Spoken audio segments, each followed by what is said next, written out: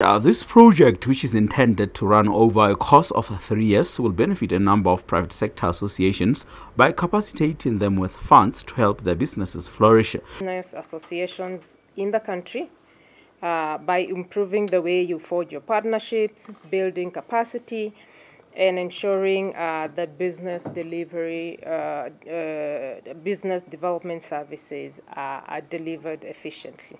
Professor Ngure says this project is in line with their country by country pillars, which are the key areas they select to work on in each country. And, and those are two very complementary, complementary pillars that we put at the heart of promoting private sector development in this country, uh, but also in the countries uh, across Africa.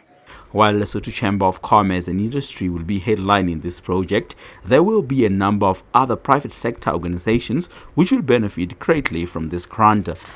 Me African Development Bank sena se se etsang ko hore kgahlametsa re le bahwebi ba banyane na ba re thusa dikgwebo tsa rona tse seng tse di sebetsa di thuswe ka ntho bitswang ka hore ke seed funding di kgone di operate one such organization is the youth entrepreneurship forum.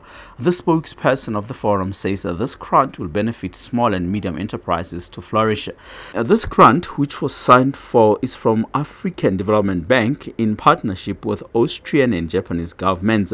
It is also intended to develop the african private sector Mokoena Moahlodi, LTV News.